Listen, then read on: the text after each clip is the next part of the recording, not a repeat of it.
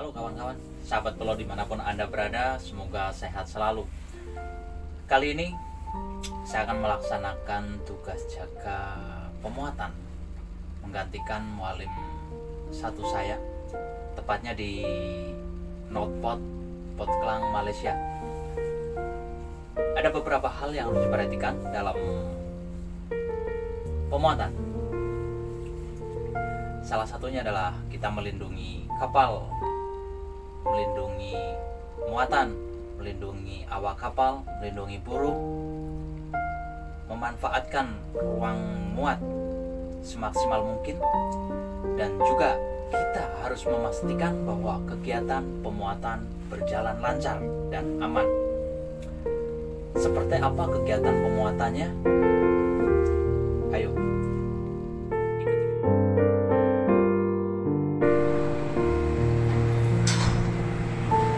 Thank you.